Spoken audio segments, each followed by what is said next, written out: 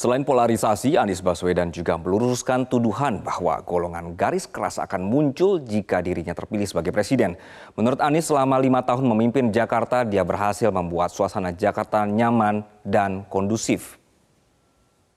Ini soal kekhawatiran yang selalu terungkap di permukaan. Kalau Anies Baswedan jadi presiden, maka negara ini akan jadi negara Islam dengan sistem pemerintahan khilafah. Jadi Anda identik dengan Islam radikal. Menurut pandangan orang-orang yang tidak menginginkan Anda menjadi presiden. Apa jawaban Anda? Nomor satu, saya sudah bertugas di Jakarta lima tahun, memimpin Jakarta. Kekhawatiran itu diungkapkan kuat ketika pilkada 2016-2017. Kuat sekali.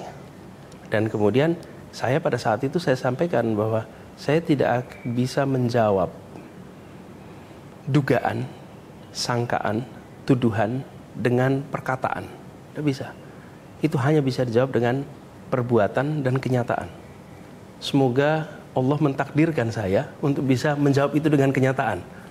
Saya butuhnya waktu, bukan butuh ruang untuk statement butuh waktu. Sekarang sudah selesai nih bang.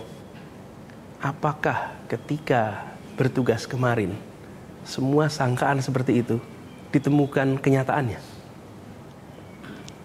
Kalau tidak, berarti sangkaan itu batal.